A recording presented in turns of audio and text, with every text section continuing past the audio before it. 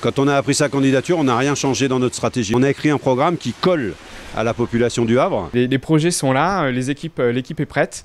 On a décidé de faire une campagne en vélo et tout se passe très bien. Ça n'a rien changé pour moi que M. Philippe soit le Premier ministre.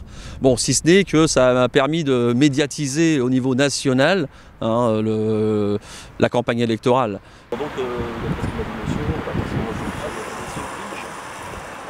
on a une concurrence déloyale. Euh, c'est vrai que toute la campagne, enfin, au niveau médiatique, est centrée sur Édouard Philippe. Édouard Philippe, il fait une campagne qui s'appuie sur sa notoriété. On a l'impression que son programme pour le Havre, c'est Édouard Philippe. On ne souhaite pas que ce scrutin euh, local se transforme en référendum pour ou contre Édouard Philippe, dans lequel la ville du Havre et ses enjeux seraient oubliés.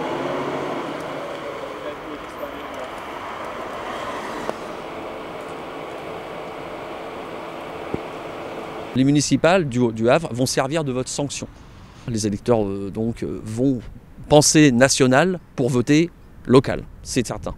C'est la même personne et que les mauvais coups qui, qui l'assènent au niveau national sont aussi des mauvais coups qui se préparent euh, à faire peser sur la vie des Havraises et des Havrais. Le, match est serré, le match est difficile, mais, mais on pense vraiment que la démarche qu'on a engagée, cela peut faire la différence quelles que soient euh, euh, leurs orientations de vote.